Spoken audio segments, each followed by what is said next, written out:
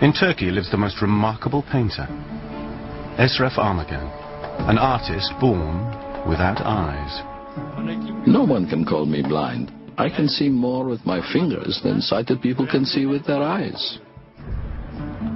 Esref proves that you don't need eyes to see.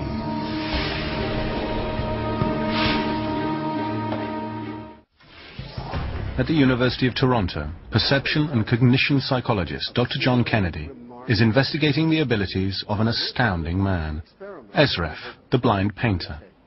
Esref is a blind man who has been drawing pictures since he was a child. He draws astonishingly well. Many people would say he draws better than many sighted people. Esref lives in Turkey.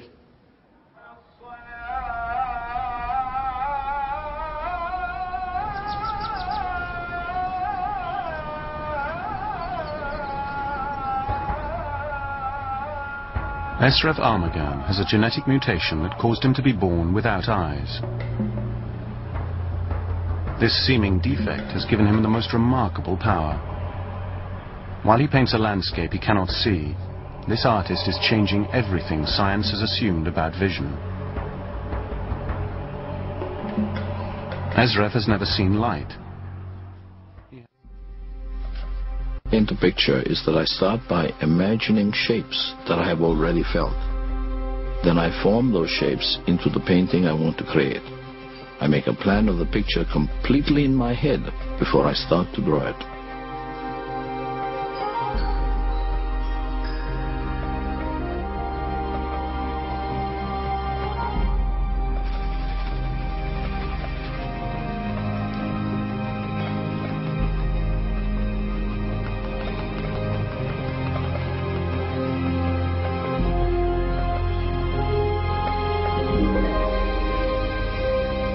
What's astounding about Esref's paintings is his use of color, shadow, and composition. And most importantly, perspective. The way he draws objects receding into the distance. It is not meant to be possible to paint such recognizable and well-composed images without eyes. At Harvard Medical School's Neurology Center, scientists are mystified by Esref's abilities. They want to scan his brain in order to find out how he does it. Esref is doing something that we thought was locked in the visual brain and was only possible if you had visual input. And it's the way Esref grapples with three-dimensional space that has the scientists particularly excited.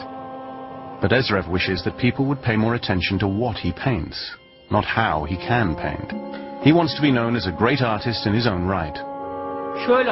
I want to be remembered as a person who was able to see the world with their fingertips.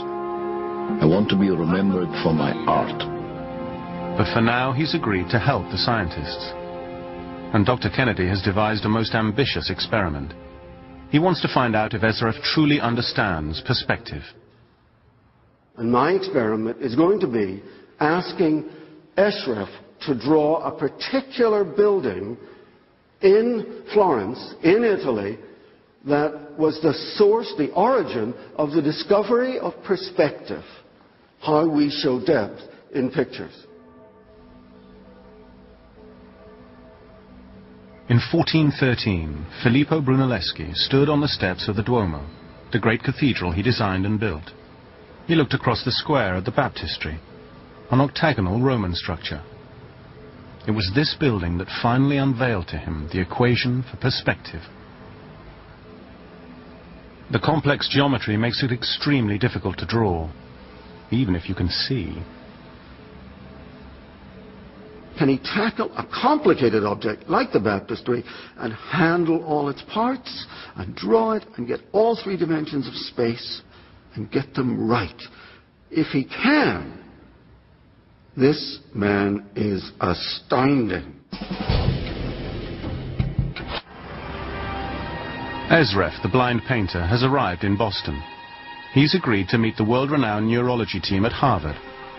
They're amazed by him and want to know how a man without eyes can paint such incredible pictures using scale and perspective.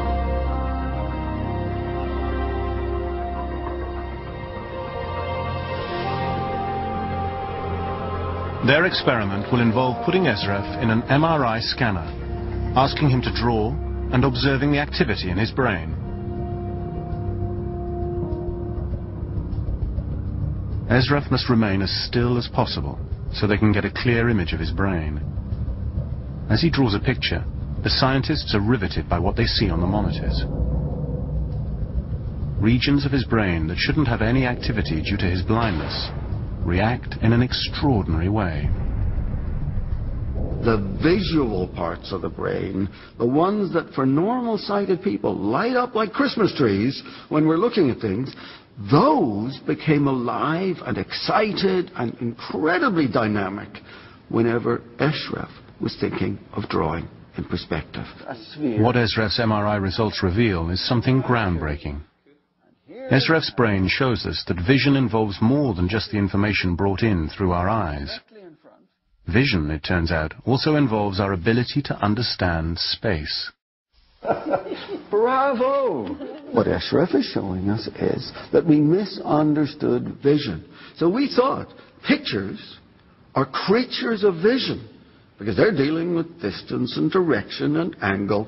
And now we realize all of those things are available to touch as well. And so we can have tactile pictures as well as visual pictures.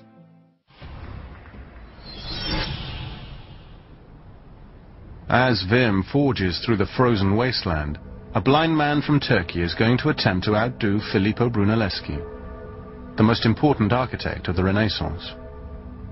I'm going to ask Eshref to sit here where Brunelleschi was and draw this building. John? Eshref! How are you? How nice to see you. We have so much to do. There is a really interesting building right beside us. And I'm going to ask you to draw it. First, we got to find out the shape of the building. Mm-hmm. There's the sign, right? Then you come to the corner. And then it goes at an angle. Esref has been given no prior clues about this building. He's entered into this experiment without knowing what he was going to be asked to do. What Esref must do is draw the sides of the baptistry upwards and downwards so that the lines converge on the horizon. This is what Brunelleschi did, and this is what even now most sighted people get wrong. Okay, Eshref, what I would like you to do is to draw the baptistry as if you're standing in front and the roof is far above your head and you're in front of one wall of the building.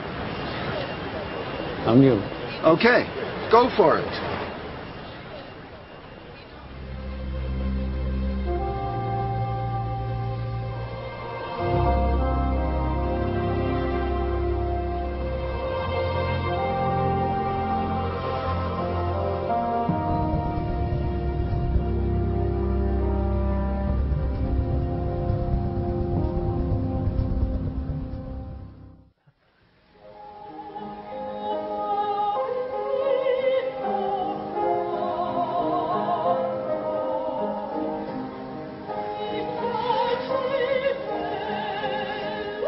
For Esref, this is the moment of truth.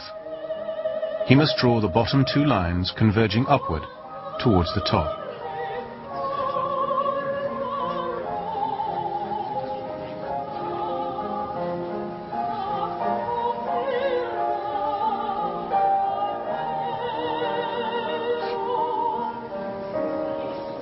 Esref Armagan has just set his place in history.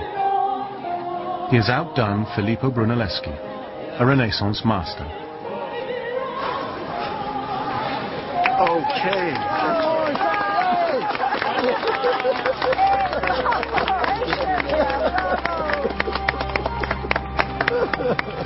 Bravo, bravo, ja. Çok iyi. This is a moment that happened first 600 years ago. The next time it happened was today.